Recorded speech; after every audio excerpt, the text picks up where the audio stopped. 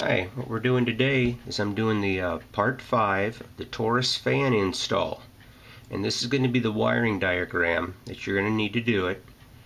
Um, you got your high speed relay low speed and if you have air conditioning you're going to need another relay okay?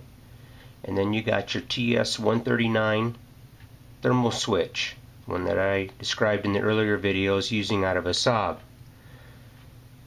Okay, um, the only other thing about this wiring diagram, this wire going to the high relay and this one going to the low need to be swapped.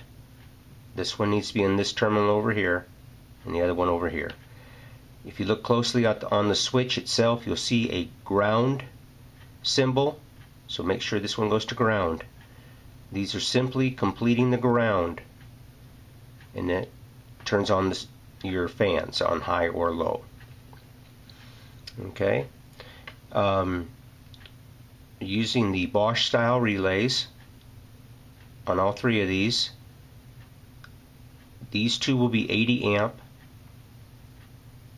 I'm using the, uh, I think it's pronounced Zettler, Z-E-T-T-L-E-R.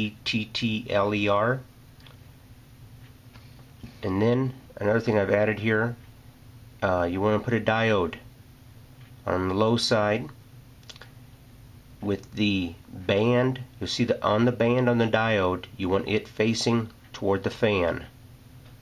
And what this does when low kicks off it discharges the coil on on this relay. Because otherwise what's happening is the fan is still spinning.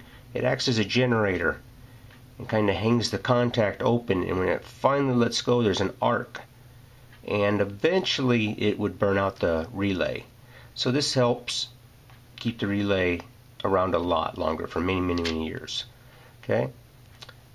And that uh, item number for that diode is a IN 5408 uh, you can Google that. They're pretty easy to find. You shouldn't have to pay more than a couple bucks for them. Uh, these relays that I'm using, they're also not very expensive. They're only you shouldn't have to pay more than five six dollars a piece for them. Uh, you Google the Zettler AZ979 and you're going to find them.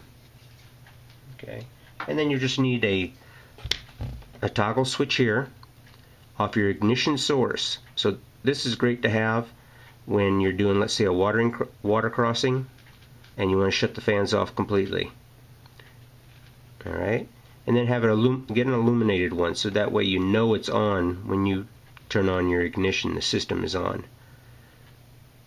Uh, use 10 gauge wire for all of these um, and actually just for the fan coming off of here would be 10 gauge and 10 gauge from your battery source. Use a 50 amp fuse. That's what I've been using. Haven't had any problem at all. Okay? And then uh, all of these wires here for let's say your grounding that can be like 16 gauge even will work just fine there's no load really on this. Like all of the from your ignition source your toggle switch here that's all can be like 16 gauge would be just fine. And then what you're going to do on your for your AC you're gonna you can just splice into the wire that goes to the AC pump okay? And bring that over here to your 86 terminal and you can see here that you got the, the 85 is to ground and so is the 87 and then these just do it exactly like this other than these two are switched. And you're going to be fine. So how this works is once you reach the 195 196 degrees low side is going to kick on this relay here.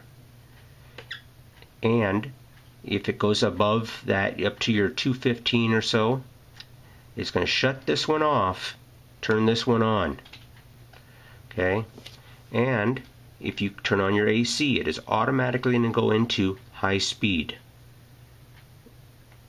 Kicking on that relay there. Okay.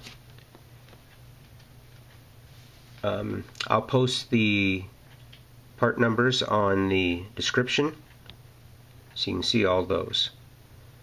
And if you got any questions, just ask. Hopefully this here, I'll, shoot up here nice and close so you guys can get a really good close view of this. See.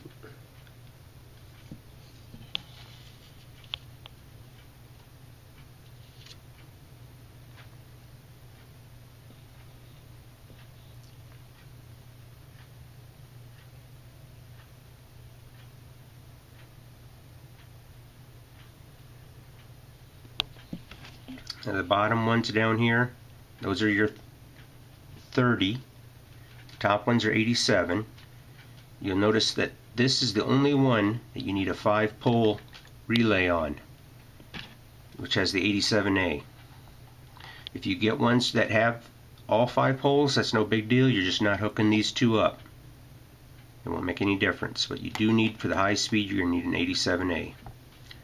So what's happening is the power is coming over here this is normally closed, going to the low side.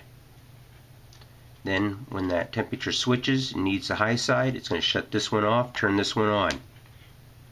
That's how you're able to actually do this all with just two relays if you didn't have AC, three with AC. Alright, hope you guys like it. I know you've been waiting for it. Thanks.